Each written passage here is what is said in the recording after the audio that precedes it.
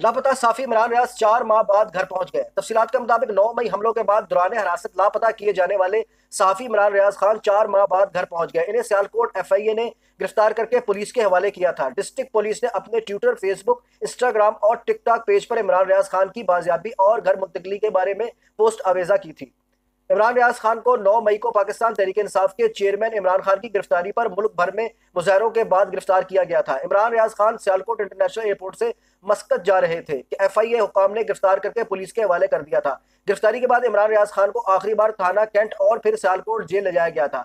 इमरान रियाज खान के वालिद ने लाहौर हाई कोर्ट दरखास्त दी थी कि इनके बेटे को अगवा किया गया है और 16 मई को वालिद रियाज खान की मदयत में थाना सिविल लाइन में इमरान रियाज खान के अगवा का मुकदमा दर्ज किया गया। एफ़ आई आर की तजीरत की दफ़ा तीन सौ पैंसठ के तहत नामालूम अफराद और पुलिस एहलकारों के खिलाफ दर्ज की गई।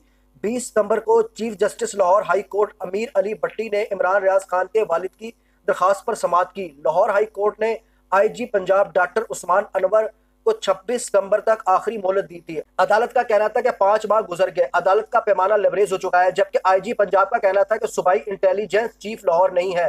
दोबारा वर्किंग ग्रुप का इजलास जुमे के रोज होगा। आईजी पंजाब ने पंद्रह रोज में खुशखबरी सुनाने की नवीद दी थी।